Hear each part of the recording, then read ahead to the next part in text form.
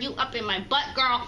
I was just looking to have a very peaceful morning until this boy couldn't get a hold of his mm-hmm. morning wood. The real chores that I needed to do today.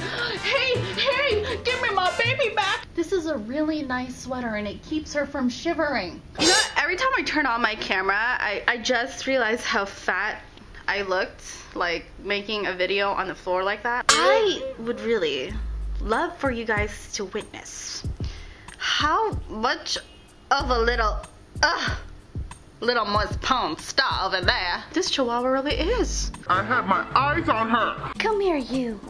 Come here. Hi. Hi. Ooh, you want to show them your... Look at her, she recognized it. Hola. Sometimes you guys like ask me what I do on my free time. I'll wake up, um, I'll eat breakfast, I'll just hang around here, like answer some emails, go on YouTube. I'm, I'm usually stacked with a whole bunch of schoolwork.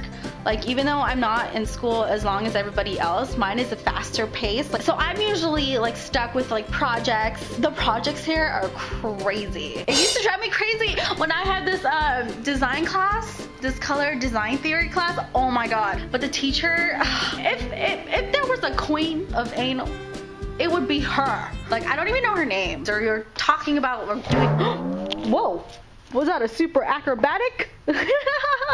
so I'm just kind of like doing emails here. But um, anyways, I am finally, it's like 10 minutes till 5 o'clock and I've finally gotten myself situated to go to Target and do some chores, get these dogs some dinner. Oh, there's a turd under my bed.